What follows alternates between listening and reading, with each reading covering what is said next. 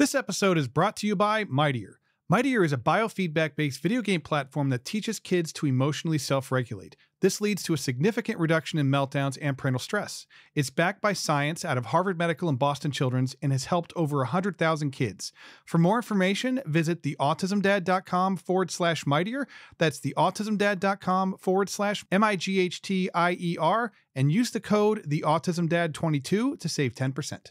Welcome to the Autism Dad Podcast. I'm Rob Gorski. For the past seven seasons, this podcast has provided parents with education, community, resources, and validation. This season, you'll hear from parents just like you, as well as my own kids, who will offer their unique perspectives on what it's like for them to navigate the world as young autistic people. You can subscribe on any one of your favorite podcast listening apps, and for more information to be a guest or sponsor, please visit theautismdad.link. Welcome back, folks. My name is Rob Gorski, and this is the Autism Dad Podcast. I've got a fantastic episode for you guys today. I recently sat down with Kim Hauck. She is the director for the Ohio Department of Developmental Disabilities. And we have a conversation about what the Ohio Department of DD does, like at a state level, how they oversee the local county boards of DD. We talk about adult transitional things, like as our kids age out of the uh, high school services and stuff like that and age into adulthood. And she also helps people who are not living in the state of Ohio connect with resources in the state with which they live in. So I really appreciate you guys, and I hope you enjoy the interview. Thank you so much for taking the time to come on the show. I really appreciate it. Could you take a second and introduce yourself and tell us a little bit about who you are and what you do? Hi, sure. Uh, my name is Kim Hauck and I am the director at the Ohio Department of Developmental Disabilities. Mm-hmm. Um, so I've been here at the department for about 10 years now. Uh, before that, I worked out in the field. Um, I started in the late 80s. I started as a direct support professional. Oh, wow. Um, and at an intermediate care facility down in the Cincinnati area. Um, went to college and became a special ed teacher. So when I graduated, started teaching um, and worked down um, in Hamilton County at their Board of Developmental Disabilities for about 22 years. And then came up here to the state. So came as the chief policy officer, and then you know some other things. Helped transition our early intervention services from the Department of Health over here, um, and then I've been the director for two years. How do you like it? I love it. I, I, I really love it. I love um, what I get to do every day. I love meeting with different people, um, talking to people with disabilities, talking to their families, um, working with the local providers and county boards.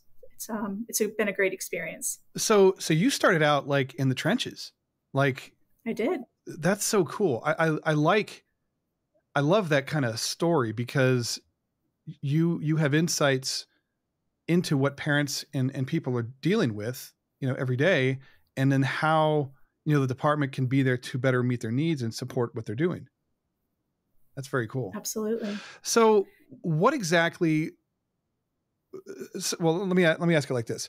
So, you know, people listening will be all over the country. Well, it's all over the world, but we're just going to focus on what the Ohio Department of Developmental Disabilities does because that's what we're here to do. What exactly does the Ohio Department of Developmental Disabilities do? Yeah, so you know something that's uh, a lot of people don't know and that's exciting is we are a cabinet agency, which means I report directly to Governor DeWine. Mm-hmm. Um, and there are very few states that have that opportunity. So, you know, I um, get the experience of meeting with him, making sure that he understands the issues and, and what's going on across Ohio in the disability world. Um, but here at the department, we really are, we serve as a resource and um, a support for um, our local counties. And we do serve as the regulator also of providers and of our county boards. All right. So you guys are like so like as as parents, we we mm-hmm. interact typically with the local board of DD. That's right. And so you guys are in charge of all of the state all of the county boards of DD in the state of Ohio. Yeah, we are we oversee um, their Medicaid um, okay expenditures, you know, that sort of thing. The the services that they provide with their federal and state dollars. So every local county also has locally funded services, and they can decide um, how they spend those or what kind of services they provide uh, with those funds. But we do, we're responsible to ensure that there is, um, you know, state accessibility to those funds. Okay. So what for for the people out there, and it's surprising how many people I've connected with who who don't know what the board of DD does or what role it fills. Mm-hmm. And I my oldest is is um, working with the Stark County Board of, of DD currently. He's 24, transitioning into his adult life. We went through OOD. He's got his first job. Learned that he's going to be moving out here. Maybe by the time people actually hear this, um, and the board of DD played a huge, huge support role in that. Can you can you help parents understand what like what role the board of, of DD plays in the life of families and people living with disabilities? Absolutely. So in Ohio, we have 88 counties, which I think is interesting for, you know, not everybody knows that. Um, and each county has a county board of developmental disabilities. And they um, first, you know, determine eligibility uh, of people with disabilities. Are they eligible for services? Um, they assign everyone what we call a service and support administrator or an SSA, and that's like a case manager um, to help families navigate the system. Know, the system is complex. Um, there's a lot of you know, waivers and services, supports, those sorts of things that can get really um, confusing in our system. Um, so the county boards help families um, navigate and walk through all of those processes. My, so I mentioned that my oldest, uh, we got connected with the board of DD. So I don't know about a year, a little over a year ago, I think, year and a half ago, maybe. And you know, he he applied and was was approved for the waiver program which helps to cover his like transportation back and forth to work mm-hmm. and it'll help to cover transportation like once he moves out and he's living kind of his independent life he wants to live his idea of independence for him that makes him happy is living in a group home he wants to live with friends and order DoorDash and have like movie nights and whatever so you know more power to him he'll he'll do it uh that's fantastic it, you know it's really it's such a cool thing because he's one of those kids that no one ever thought he would be where he is today and there were there were too many problems when he was younger. He was, you know, we're going to have to look at residential placement, like all of this stuff. And now he's he's he's I'm so proud of him. He's doing so well, and uh, you know, I, I've been lucky enough to be able to utilize a lot of the services that are provided in the area. But even as is like connected as I am, I'm still learning about things that I had no idea existed. And we connected with the board much later in his life. So he was like 22 going on 23, which is pretty late, I think, to get connected. Uh, but what like what age should parents reach out to the board of of DD in their area and you know connect on on that level? Yeah, absolutely. I mean, the earlier the better. Um, so all 88 of our county boards offer something called early intervention, which is birth until your third birthday. And so, you know, a lot of times we might not know that our child needs those extra services um, when they're firstborn or, you know, as an infant or a toddler. But, um, you know, we try really hard to get engaged with families uh, very early in, in their life and in their journey. So, um, you know, we have lots of different programs for youth, um, different services. Uh, you know, we connect with schools across the the state um, and do transition planning. So, you know, again, the earlier, um, the better. So, is there an age? Is there an is there like a cutoff for when someone is, when someone is eligible to work with the board of DD, and then when they like, do they ever age out? So you don't age if, once you're eligible, you don't age out. It is a um, you know a birth and till death, you mm-hmm. know, kind of service and support. Um, you do have to uh, show signs of a disability before your 21st birthday to be eligible. So, um, people who might be in a car accident later in life, you know, those sorts of things um, aren't typically found eligible at our county boards. Okay.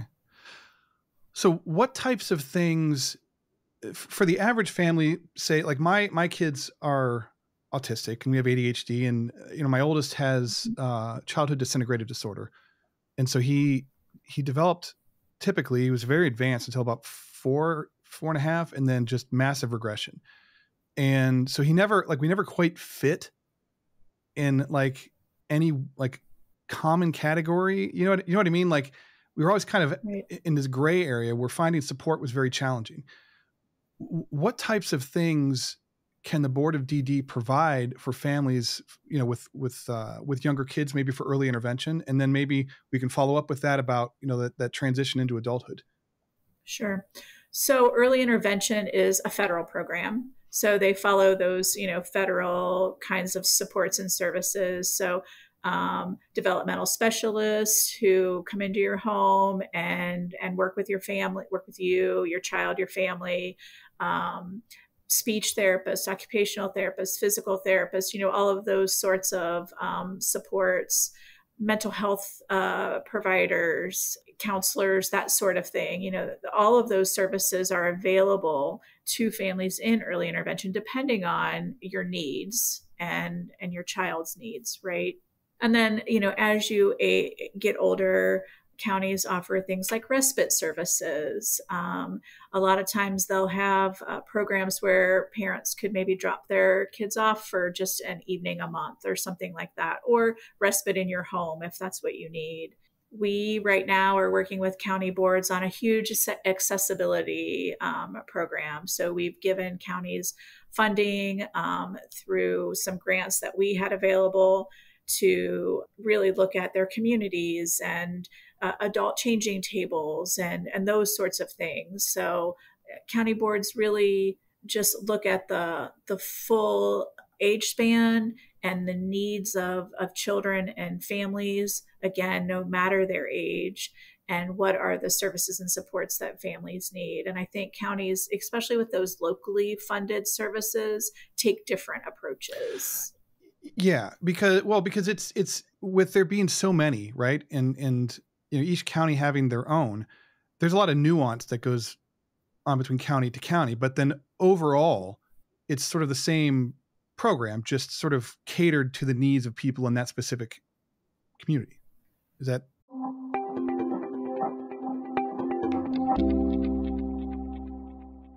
This episode is brought to you by Goally. Did you know the University of Michigan did a study that found over 80% of apps for kids are designed to lure them into longer gameplay and more in app purchases?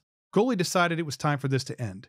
Unlike the Kindle and iPad that have endless ads and potentially dangerous content, Goally is a tablet with only apps that build independent kids. It has no web browser, no social media, and no ads, ever. It has award winning learning apps like Khan Academy, Duolingo ABC, and Starfall, and the best part is completely parent controlled. In my house, we use Goally's kids calendar to teach my son how to stay on task. He learns life skills like how to make a sandwich by watching one of the hundreds of video classes and can practice it by following along with one of the 50 pre made routines. As a dad, there's no better feeling than knowing that my son is becoming more independent every day. For more information and to try Goally risk free for 30 days, visit getgoally.com. That's G E T G O A L L Y.com and use the code The Autism Dad to save 10%.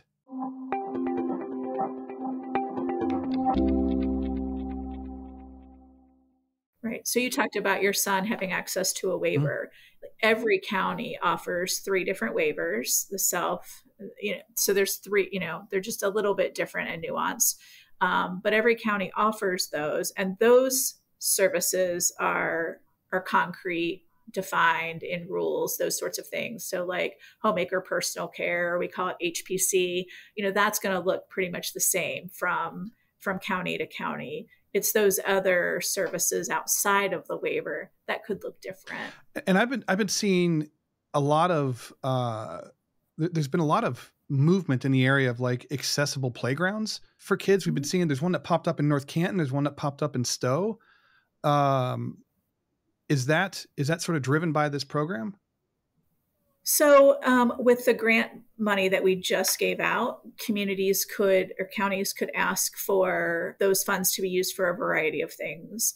Accessible playgrounds, accessible fairgrounds, or, you know, places where a lot of festivals might happen or if they have a big downtown area maybe they need curb cuts and and ramps and those sorts of things and then again we made a, a really large investment in universal changing tables um, there are two moms kim and jennifer who um, did a lot of work in that area. And so we were really happy to support them through the budget process and get some dedicated funding for that specific project. Yeah, I um there was a movement, I can't remember the name of the organization now that they started. Uh Changing Spaces, yes, I yes, think. they were on a podcast a couple years ago and and talking about the importance of adult changing tables. And it's not something that yes. most people would ever think about, but it makes a huge That's difference right. in the lives of, of families who need to utilize that. I've been seeing them pop up in in restrooms uh, locally, and I and I always, yeah. always makes me think of that the conversation I have with them because that's so cool that we are yeah. we are moving in in the right direction on that stuff. Um, just sort of because you you've been kind of involved in this field for a long time. What are what are some of the positive changes that you think that, that you've noticed from the time that you were you know working as um, uh, like a support personnel to to where you are where you are today. We've made we've made a lot of progress, but I think sometimes we don't we're not always aware of that progress because like maybe parents are just kind of jumping in now because they have a, a, kid that's diagnosed with something now and they don't realize how much better it's actually gotten if that makes sense yeah absolutely think we've made a ton of progress um, over the past 30 some years. Um, I think even having these conversations about accessible restrooms and you know we weren't having those kinds of conversations back you know back then. Um, having the opportunity to really live work play go to church you know all those kinds of things in your community uh, we were much more focused on on not that we aren't focused on safety now but i think we you know we weren't giving people the opportunity to live to their full potential, to really um, take those risks that we all take every day. And so I, I, that's really exciting to see. I think here at the department, we've made a, a big effort to uh, really listen to the voices of people with disabilities themselves, um, really hear what's important to them, what they want to do um, with their future. And so I think that's been really exciting. Are there are there things that you would like to see uh, as we move forward, like improvements or or things that you're aware of that need to be addressed, but maybe we haven't gotten there yet? If that makes sense. Sure. I think we've made a lot of progress in Ohio um, around our employment first efforts. So people working in the community, having um, you know good paying jobs. I think um, there's still a lot of people who have some really high intensive needs, and you know, working in the community might not be their first choice. And so, ensuring that we really have good options and programming for them, um, again, for what they want to do, where they want to um, be engaged during the day um, after high school making sure that we have lots of options for them i think is is really important and um, something that we've we have on our you know in our sites and trying to work hard on. I yeah, because my my oldest, I, like I mentioned before, I'm very proud of him, so I'm going to talk about him one more time. He uh, he he went through the the uh, he went through OOD, did his job training, mm-hmm. had a job coach, and was uh, you know recommended for community employment, like regular a regular job, and mm-hmm. he does so well. Like he he it's so it's so cool to see the look on his face when he puts on his little like his name tag and his you know his uniform and he's packing his lunch and getting ready to go to work like th- these are all things that as a parent like I, I cannot stress enough how amazing it feels. And you know i always try to kind of instill hope in in parents because i think a lot of times when our kids are diagnosed just with autism specifically because that's my experience um, we get we get diagnosed our kids get diagnosed we get a piece of paper and we're kind of ushered out the door. And that's largely it. That's what parents feel like that overall experience has been. And and in those moments like we feel like what is, what we're experiencing right now like where our kids are right now is where they're always going to be and so this is this is just it and and that's not always the case because it's it's like a snapshot in time. It's how it's how we it's where they are in the moment so that we can identify the need and match it with a service, right? And resources. Mm-hmm. And where they're going to be 5, 10, 15 years from now is not representative of where they are currently, right? Everybody starts somewhere. And I just I've become very aware of that as my oldest has has transitioned into his, you know, his own independent life because if I had I, I just never thought it would be possible. And and I know there's a lot of parents out there who feel the same way. And I just if you're listening, I just want to make clear that that our kids can do amazing things, you know, and uh utilizing the support that is available, you know, that the state provides or the county provides, there's no shame in that. You know, I, I hear a lot of parents feel like, well, my my kid won't qualify or he's not eligible because it's only this or it's only that or you know whatever. So, I guess one of the last things that I wanted to ask you was for the parents out there who feel like their child wouldn't qualify or or they feel like they shouldn't be utilizing government services or whatever because there's a lot of stigma i think that still floats around right. what would you what would you say to them you know i think we all have potential right? All of our kids have potential and that's all we want is we want to see our kids live up to that and do you know the best that they can. I think that you know these services are here expect you know just for this for your kids for um, our our future right? And we just it's just here to help. And i think you know it never hurts to try uh, you know to go through the eligibility process. And if you're not eligible um, the counties will help connect you to other services that maybe you are eligible mm-hmm. for. And so and if you are then that opens you know a, a, world of services and supports that your kid can use. And you know thinking about their future as adults um, you know maybe when parents aren't um, able to be with the child every every day or all the time you know you're just setting them up for a future of people who will care about them and support them and and be there for them very cool yeah i, I just it's that's very much on my mind a lot lately because I, I wish that i had connected much earlier than what i did uh, because my youngest is 15 going on 16 and then my oldest is 24 and then i have a 17 year old who turns 18 next week um, and so there's busy guy. He, yeah, yeah. It's it's uh it's a whole thing.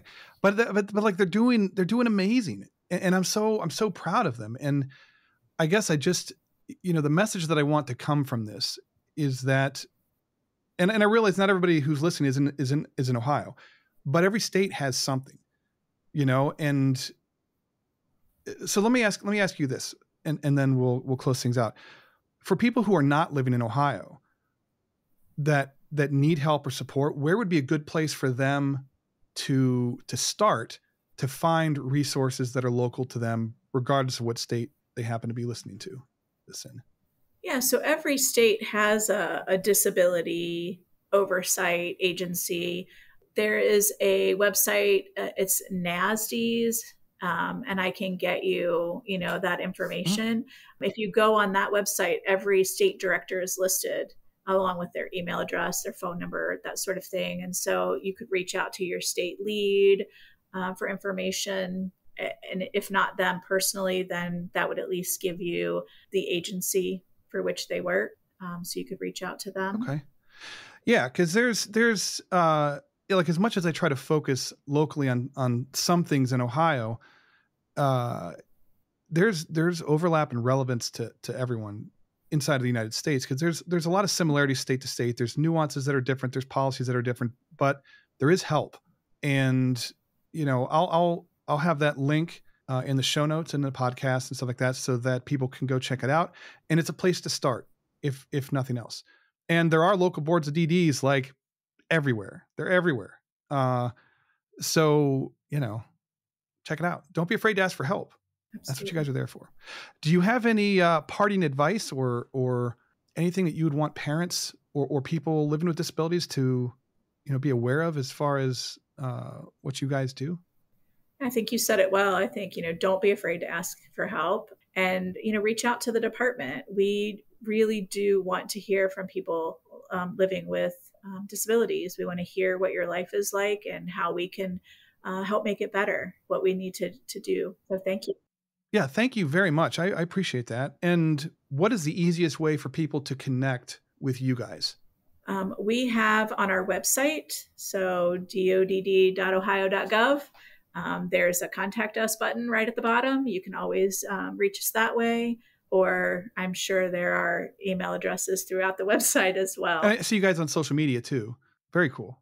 Well, thank you so much for your time. I really appreciate it. And thank you for everything that you guys do. Um, you know, I, I wish I had been more in touch with this stuff when my kids were younger, but I'm very aware of it now. And, uh, you know, I'm hoping that by listening and by having this conversation, people will become more aware of it at an earlier, you know, earlier point and, and can, uh, you know, utilize those services to help their kids navigate life. Thank you. Thanks. Thank you. Thanks for having me. And um, thanks for all you're doing to wa- raise awareness. Thank you. Uh, around the state and the country. Appreciate it. It's awesome. Thank you. Before we go, I just wanted to take a moment and say thank you so much for taking the time to tune in and for all the support you guys have shown me over the last seven seasons. I am so grateful and appreciative of each and every one of you. If you have found this useful or you just enjoyed listening, if you wouldn't mind taking a moment to leave a review on Apple Podcast or Spotify or whatever app you're listening to this on, or share it with your friends or whatever, uh, it's a great way to support the show. Thank you. I really appreciate it. You guys can reach me at the autismdad.link. That's the autismdad.link and we'll talk soon. Thanks. Bye.